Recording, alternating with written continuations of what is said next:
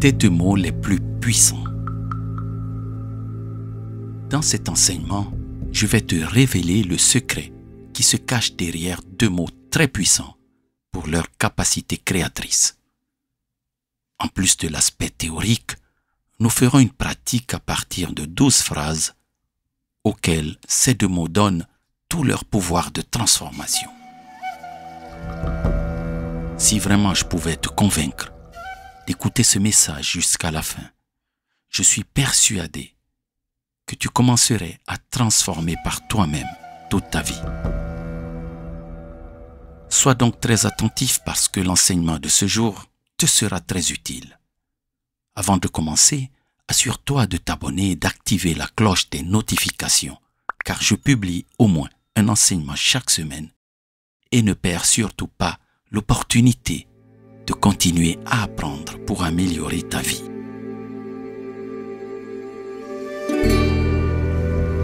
Aujourd'hui, on entend beaucoup parler de transformation, de transformer. Ces termes comprennent le mot forme, précédé du préfixe trans qui signifie au-delà d'eux. Transformer veut dire aller au-delà de la forme, au-delà de la matière. Comment arrive-t-on à se transformer? C'est la clé de voûte de l'enseignement de ce jour. Les personnes qui ont expérimenté les grands résultats dans ce monde connaissent cette clé. Ils ont toujours déclaré ceci. Les grands succès, les grandes réussites sont la conséquence d'un travail interne que tu effectues sur toi-même. Ainsi, des conquérants comme Napoléon Bonaparte, Alexandre le Grand, visualisaient les détails de la victoire de chacune de leurs batailles avant même de les mener sur le terrain. Le basketteur américain Michael Jordan visualisait ses victoires avant même d'avoir joué ses matchs. Lorsque Jules Verne avait décrit le Nautilus dans son roman Vingt milieux sous les mers, il avait visualisé avec un siècle et demi d'avance les sous-marins d'aujourd'hui. Le grand génie et polymathe Léonard de Vinci, qui a vécu il y a plus de 500 ans, est toujours reconnu comme artiste, scientifique, ingénieur, inventeur, anatomiste, sculpteur, peintre, architecte, urbaniste, botaniste, musicien, philosophe écrivain. Il connaissait et utilisait parfaitement le secret de la puissance créatrice de ces deux mots. Il est temps pour toi aussi d'activer ton pouvoir créateur. C'est dommage qu'on enseigne les mathématiques, l'histoire, les langues à l'école, mais qu'il n'y ait pas un endroit où l'on peut apprendre tout ce qui a trait à l'intérieur de l'être. Or, c'est un facteur important pour réussir sa vie, et même réussir dans la vie. Il y a deux mots très puissants. Ils permettent de transformer en une manifestation palpable et concrète ce que nous avons au préalable conçu et créé en pensée à l'intérieur de nous. Carl Gustav Jung disait que celui qui regarde à l'extérieur rêve, celui qui regarde à l'intérieur se réveille. Tes pensées et tes sentiments, donc ton monde intérieur, créent ton monde extérieur de façon consciente et inconsciente. Quand un de mes fils était petit, je lui ai fait passer un test pour attirer son attention. Un jour, il m'avait remis un dessin qu'il avait fait pour moi.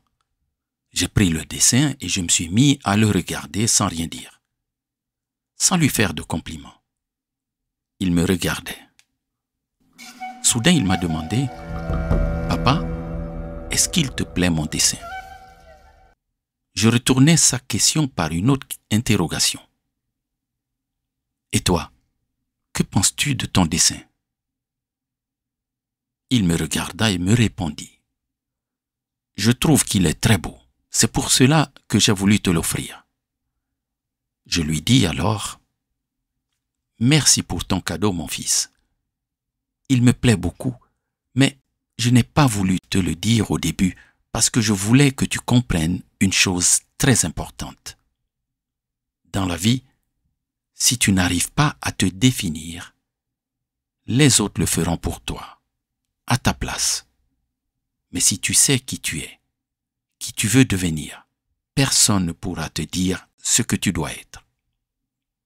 Ainsi, que je dise que ton dessin est beau ou pas, le plus important est ce que toi tu penses de ce que tu as fait, de ce que tu as produit, de ce que tu as créé, de ce que tu veux être, de ce que tu veux devenir.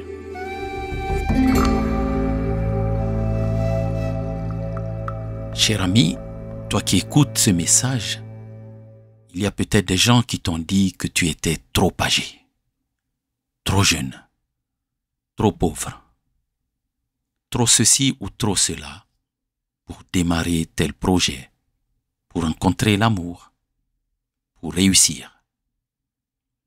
Eh bien, si tu veux réussir dans la vie, tu dois arriver à te dire toi-même qui tu es, qui tu veux être, qui tu veux devenir.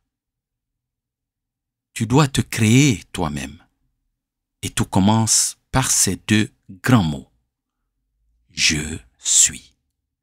Suivi de ton aspiration, ce que tu veux être ou ce que tu veux devenir.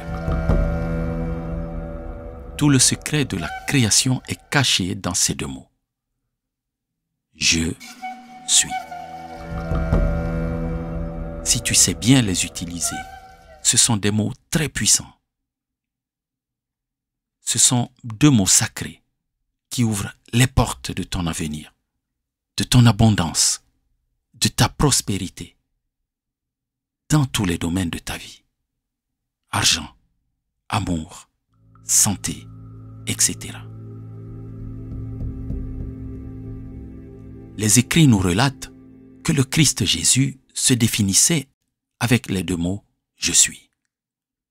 À de nombreuses reprises, il disait Je suis le chemin, je suis la vérité, je suis la vie, je suis la lumière.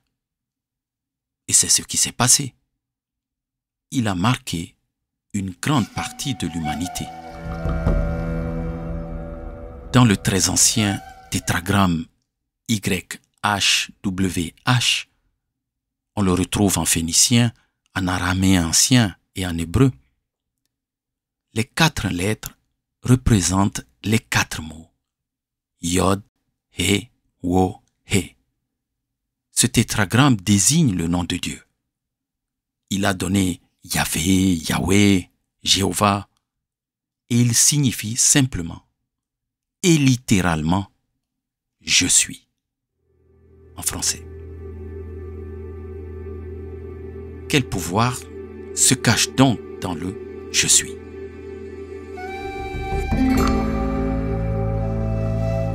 Lorsque tu penses, ressens et prononces les deux mots je suis, tu interpelles ton être profond, ton essence première, ton vrai moi.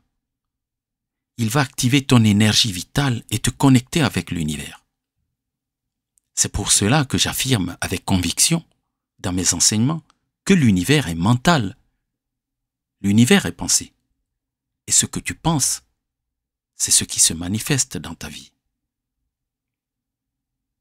Mais tout d'abord, me diras-tu, Josébert, quel est l'intérêt d'activer notre énergie vitale? Le manque d'énergie vitale conduit à la perte de la joie de vivre, à la mort. On devient amorphe, désabusé, déprimé, triste, sans espoir, malheureux. L'énergie vitale, c'est l'énergie qui maintient la vie. C'est l'aliment, le carburant que ton essence injecte en toi pour te donner le pouvoir de co-créer la vie que tu désires en étroite collaboration avec l'univers. elle t'aide à être réceptif aux vibrations de l'univers. L'univers est la source. Tu peux en fonction de tes croyances remplacer le mot univers par les mots qui te conviennent le mieux. Champ quantique, conscience universelle, créateur ou Dieu.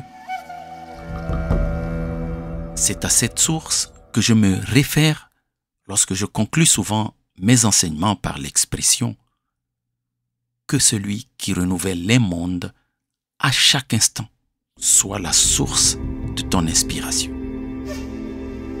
C'est en se connectant à cette source que tu peux raviver l'étincelle qui est en toi pour en faire une véritable flamme, une flamme remplie d'énergie vitale. C'est en étant animé par cette énergie que tu peux renouveler ta vie, ton existence, ton monde à toi. C'est donc par l'énergie vitale que tu deviens co-créateur de ta vie avec l'univers. Voilà pourquoi il est important de raviver son énergie vitale. Par où commencer pour transformer ton monde? Tout processus de création commence par la pensée. Le monde que tu perçois est comme un hologramme qui est le reflet de ce que projette ton intérieur. Si tu arrives à modifier ton intérieur, c'est-à-dire ta façon de penser, de sentir, alors automatiquement, la perception que tu te fais de ton monde extérieur se modifie. Si la pensée est négative, elle crée un monde de souffrance, de pauvreté, d'injustice, de maladie. Si la pensée est positive, elle crée un monde de bien-être, d'abondance, d'épanouissement, de prospérité. Il n'y a pas un monde, mais des mondes. Chaque être humain vit dans le monde qu'il a créé lui-même dans son intérieur. Je ne sais pas si tu y as déjà prêté attention, mais lorsque nous conjuguons le verbe être, lorsque nous disons je suis, nous affirmons non pas ce que nous avons, mais ce que nous sommes. Or, qui sommes-nous en réalité? Nous sommes l'être qui est en nous. Nous l'avons déjà dit, la phrase je suis est un décret puissant. Il fait référence à notre essence, à notre conscience. Eh bien, cher ami, l'expression je suis c'est la clé du logos créateur. C'est le processus par lequel toute chose a été créée. C'est le processus par lequel tu sors de la consommation pour entrer dans la production, dans la création. Lorsque tu as un problème et que tu commences à prononcer avec solennité l'expression je suis suivie de la solution que tu attends, tu mets consciemment en place les étapes par lesquelles ce dont tu as besoin, le projet que tu veux réaliser, la solution que tu attends, finira à court, moyen ou long terme par se manifester. En disant je suis, tu assumes pleinement ta responsabilité en tant que créateur des meilleures conditions de ta vie. Ton être est en quelque sorte en train de dire à l'univers, étape 1, je suis conscient de moi-même en tant qu'essence, étincelle divine, émanant de l'univers infini. Étape 2, je suis conscient de ma capacité créatrice, de ma capacité à transformer ma vie. Étape 3, je démarre mon processus créatif en accompagnant les mots je suis de ce que je veux créer. avant que je ne te donne les douze phrases basées sur les deux mots je suis, tu remarqueras que quand tu te focalises, quand tu focalises ton attention sur une nouvelle réalité, cette réalité se répète autour de toi. Ce phénomène a été étudié par les scientifiques et notamment les spécialistes de la mécanique quantique à travers le principe dit de réduction du paquet d'ondes. Selon ce principe et de manière simplifiée, Tout est énergie, ensemble d'ondes, jusqu'à ce qu'un observateur fixe son attention sur une onde spécifique. À ce moment, cette onde devient une particule et se convertit en réalité physique. J'ai une collègue qui souffrait d'infections urinaires récurrentes. Et à chaque fois, son médecin lui prescrivait les antibiotiques. Elle m'a fait part du fait qu'elle était fatiguée de les prendre à cause des effets secondaires. J'avais compris qu'elle cherchait une solution alternative. Je lui ai simplement demandé de se focaliser sur la recherche des traitements naturels. Quelques semaines après, elle m'appela pour me remercier parce qu'elle avait découvert un jus de fruits qui empêchait la fixation des germes de son infection. C'est la canneberge ou cranberry. Ce jus se trouvait juste au rayon des autres jus qu'elle avait l'habitude de consommer. En ayant fixé pour la première fois son attention sur la solution à son problème, elle a découvert d'autres plantes comme le bruyère, le busserole, le bouleau, qu'elle utilise maintenant et qui l'ont aidé à soulager un problème qu'elle traînait depuis plusieurs années. Tes pensées et ta manière de ressentir les choses constituent ton monde intérieur. Ce monde caractérise la personne que tu es, avec tes échecs, tes réussites, etc. Ton monde intérieur influence ta manière d'interpréter et de vivre le monde extérieur. Mais selon un jeu de vase communicant, tout ce que tu captes avec tes sens et qui provient du monde extérieur a une influence sur ton monde intérieur. De ce fait, fais attention à l'opinion que tu te fais de toi, car ce que tu penses de toi conditionne ce que tu deviens. Mais prends aussi garde à filtrer ce que les autres veulent que tu deviennes. C'est très important de nourrir ton esprit de valeur d'enseignement sain. C'est ce que j'essaie de faire à travers mes enseignements. Voici maintenant 12 affirmations pratiques que tu apprennes à combiner la puissance de l'expression je suis avec tes aspirations pour ta vie. Nous commençons.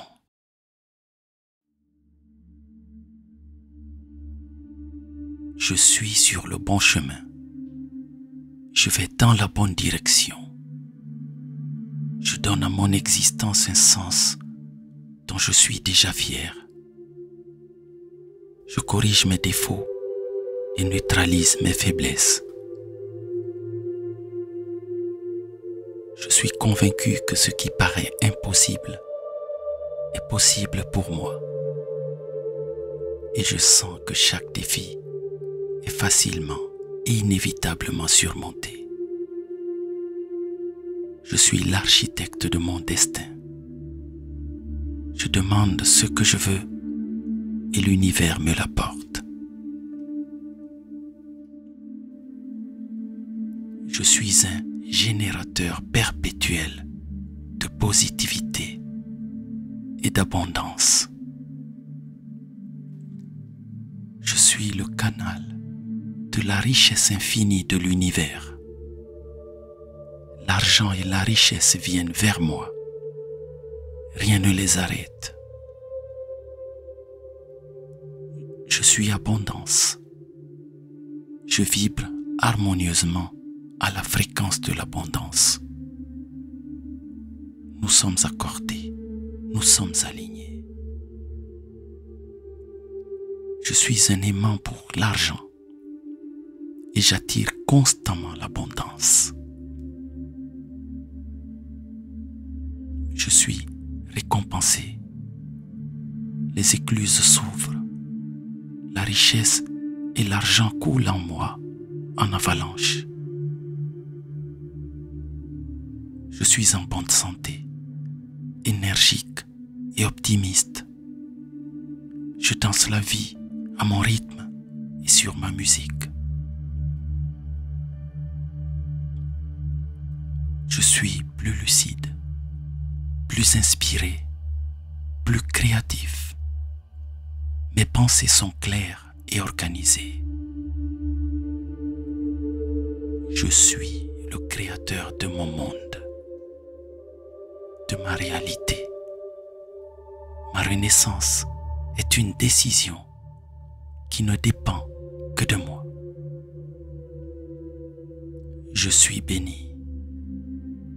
J'accueille le succès, le bonheur, l'amour prospérité, la santé dans ma vie. Je grave ce que je suis et j'efface ce que j'étais. J'implante ce que je suis et j'extrais ce que j'étais. J'inhale ce que je suis et j'exhale ce que j'étais. J'inspire ce que je suis j'expire ce que j'étais.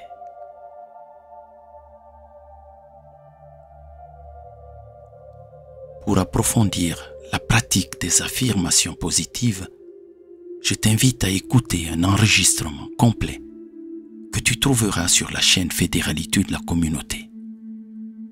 Si tu le souhaites, tu peux partager avec nous une affirmation positive qui te tient à cœur. Rappelle-toi que si des pensées négatives viennent à toi dans ta vie, remplace-les aussitôt par des pensées positives. Pour conclure, j'aimerais que tu retiennes que c'est à travers ce que tu pratiques que tu crées un nouveau scénario de ta vie, que tu ouvres à ta vie de nouvelles possibilités. C'est exactement comme lorsque tu vas à un examen. Ta motivation première est de réussir. Étant animé de cette volonté de réussite, tu te mets à travailler pour que ton vœu se manifeste qu'il devienne une réalité. Je ne te demande pas de me croire, mais que tu fasses l'expérience. Tu n'as rien à perdre, car cela ne te coûtera rien. Au contraire, tu as tout à gagner, car que tu le crois ou que tu ne le crois pas, ça marche quand même. Si ce message t'a apporté de la valeur pour ton développement personnel, laisse-moi un commentaire sur ce que tu as pensé de cet enseignement et partage-le généreusement avec les gens que tu apprécies. En attendant, je te dis à très bientôt que celui qui renouvelle les mondes à chaque instant soit la source inépuisable de ton inspiration. C'était ton ami José Bert sur Fédéralité de la communauté.